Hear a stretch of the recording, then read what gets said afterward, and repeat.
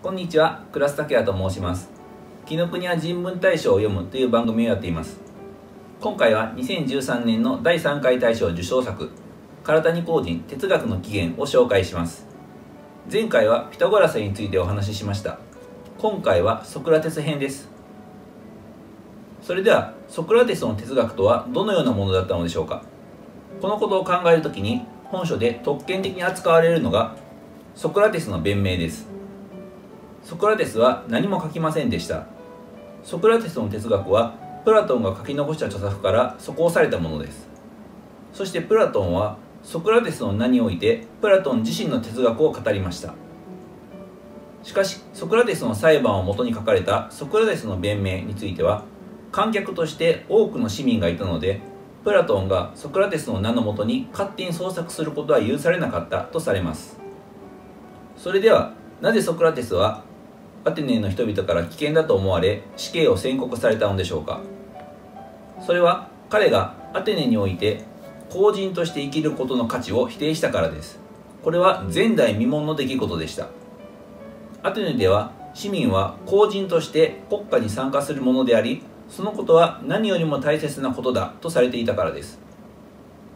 ただそれは公的な政治や正義に関して無関心になるということではありません。ソクラテスは本当に正義のために戦うことは公人としてではなく詩人としてでなければならないと考えました。そのことは公人と詩人の区別や外国人女性奴隷などの身分性を否定することにつながります。つまり政治的な二重世界を否定することです。それはイオニアの磯宮無支配を受け継ぐものでした。それではソクラテスは社会を変えるためにどのような方法を取ったのでしょうか？それは公的な民会に行くことではなく公私の区別のないアゴラつまり広場に行きいろんな人に話しかけ問答に巻き込むことでした。そしてその問答は聴衆全体に語るものではなく一人一人への問いかけでした。ここでソクラテスが示したのは公人や詩人男や女アテネ市民や外国人自由民や奴隷といった個人の属性を超えて存在するこの私としての個人の徳でした。それは外側から知識として教えられるものではなく個人が内側から自発的に悟るものなので一人一人へのその度ごとの問いかけでしか伝えられないものでした。一方でそれは放っておいて自然に生じるわけではないので教えることが不可欠だとも言われています。唐谷さんによればこのソクラテスの対話はフロイトの精神分析における分析医と患者の非対称的な関係に似ています。しかしソクラテスが考えていたのは個人の救済ではなくあくまでポリスの問題政治の問題でした。公人と詩人の二重世界の背景は個人の属性を超えた一人一人が固有名としてのこの私を自覚することによってしかありえないと考えたのです。もちろんこの問答法は失敗することもある偶然的なもので結果としてソクラテスを死刑に追いやることになります。それはクリティカルなつまり危険であり批評的なものでした。ソクラテスは問答法において積極的なことは何も言いませんでした。相手の提示した命題に対して反対するのではなくその命題を肯定した上でそこから反対の命題が引き出せることを示すだけでした。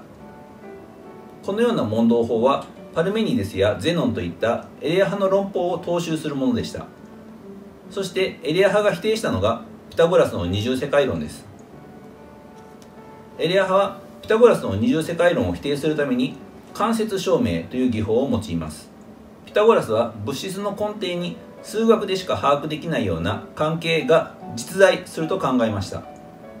ここから五感によって感じることができるような感性的な世界とは異なる理性によってしか把握できない真の世界という観念が生まれました。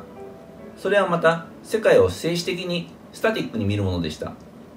運動に見えるものは過小つまり仮の現象に過ぎずその根本には不動の世界があると考えたのです。エレア派が否定したのはこのように世界を静止的に見る見方でした。例えばエレア派のゼノンによる飛ぶ矢は飛ばないというパラドックスがあります。飛んでいる矢についてある瞬間時間の幅が完全にゼロの時には矢は止まっています。つまりある瞬間の矢の速度はゼロになります。そしてどの瞬間でもその時点では矢が止まっているなら矢は止まっていて動かないというパラドックスです。しかし現実には矢は飛びます。ここからゼノンは運動は存在しないという命題を肯定すると矛盾が生じることを示すことで運動は存在するということを間接的に示しました。このような物質と運動は切り離せないという考え方はイオニア自然哲学の最も重要な点です。唐谷さんによれば現代の量子力学は物質と運動が切り離せないというイオニアの自然哲学の考えを継承しています。量子は粒子という物質であると同時に波動という運動の性質を同時に持つからです。プラトンはピタゴラスの考え方を受け継ぎ運動する物質という考え方を否定しました。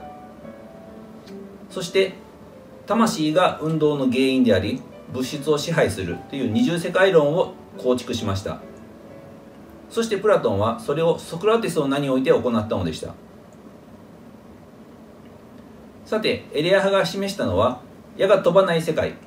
ピタゴラスが考えるような静止的な真の世界の否定です。これは過小ですが重要なのは理性がもたらす過小であるということです。世界は神によって作られたというような感覚的空想的な過小は理性によって退けることができます。しかしエレア派は理性そのものがもたらす過小があると考えました。それが真の世界という過小です。それは理性によって訂正することができず相反する命題が矛盾することを示すことによって批判することしかできません。エレア派の間接証明について唐谷さんはカントと比較して考察します。カントは物自体と現象と過小を区別しました。私たちは物自体を認識することはできず認識できるのは主観によって構成された現象であるとされます。現象とは科学的な認識のことでありこの点で迷信や神話のような過小とは区別されます。通常過小は理性によって取り除くことができるのですが過小の中には理性によって取り除けない理性によって構築されるものがありそれを超越論的過小と言います。カントの現象と物自体についてこれは感覚的な過小の世界と理性的な真の世界という対立だと誤解されます。しかしカントが批判したのは理性によって生み出される真の世界という超越論的過小でした。しかしそのことが理解されず物自体とは真の世界であると理解されてしまいます。カントによればそれは物自体を積極的に示してしまったために生じた誤解であり物自体と現象を区別しないと矛盾が生じることを示すことで物自体があることを最初に間接的に証明すればよかったと語っています。ソクラテスの問答法についても同じことが言えます。ソクラテスはあなたがあなたであること徳について積極的に教えるのではなく問答の失敗によって間接的に示したということになります。それでは何がソクラテスをそのような行動に駆り立てたのでしょうか？それは大門つまり精霊の声でした。大門はソクラテスが公人として活動することを否定し詩人として活動するように命令しました。ソクラテスの弁明から引用します。これは私には子供の時から始まったもので一種の恋として現れるのでしてそれが現れる時はいつでも私が何かをしようとしている時にそれを私に差し止めるのでして何かをなせと進めることはどんな場合にもないのです。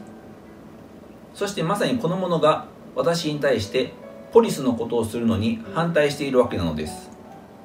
なぜこのような大門の声が到来するのかソクラテスには分かりませんでした。しかしソクラテスはその声に従うことを選びました。唐谷さんによればこれはフロイトの言う抑圧されたものの回帰でありそこで抑圧されたものはイオニアにあったイソノミアあるいは交換様式 D だとされます。以上で哲学の起源の内容の紹介を終わります。これ以前に体谷さんがソクラテス以前の哲学者に言及した著作として「探求2」があります。ここで唐谷さんはオルテガの哲学の起源を参照しつつ思想家と預言者の類似性について論じています。より実証的な哲学の起源については唐谷さんの批判者でもある納富昇さんの「始まりを問う哲学史」をネットで読むことができます。また言論カフェで私と批評家の中山文さんが対談した時の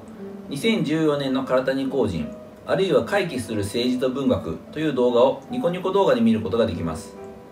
ここで私は主に唐谷さんとデモについて論じました。また今や若手を代表する批評家であるひふみさんの唐谷工事論がたっぷり聞けるとても貴重な内容ではないかと思います。ついでに言論カフェを運営されている東博樹さんは存在論的郵便的というデータ論でプラトンが後ろに立ちその指示のもとでソクラテスがペンを握っている絵が書かれたハガキを参照しています。この表紙でいうとこの後ろにいるのがプラトンで書いているのがソクラテスです。ここでデリダはソクラテスを色に入れと駆り立てた大門の声を幽霊の声として解釈しています。ここでは哲学の起源とは誤配であるということが論じられていますがまさにそのようなタイトルの書籍が東博樹さんの哲学の誤配です。それでは終わります。